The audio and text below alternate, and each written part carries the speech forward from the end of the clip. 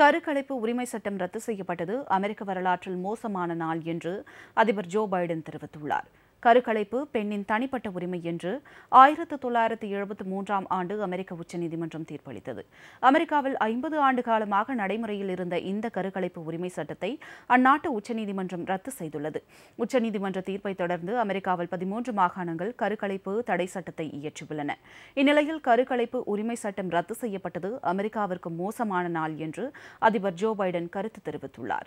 கருக்கலைப்பு உரிமை சட்டத்தை ரத்து செய்ததன் மூலம் பெண்களின் அடிப்படை உரிமையை உச்சநீதிமன்றம் பறிப்பதாக அவர் குற்றம் சாட்டியுள்ளார்.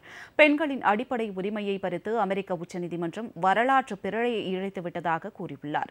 உச்சநீதிமன்ற தீர்ப்புக்கு எதிராக போராடுபவர்கள் வன்முறையில் ஈடுபடக்கூடாது என்று பைடன் கேட்டுக் கொண்டுள்ளார்.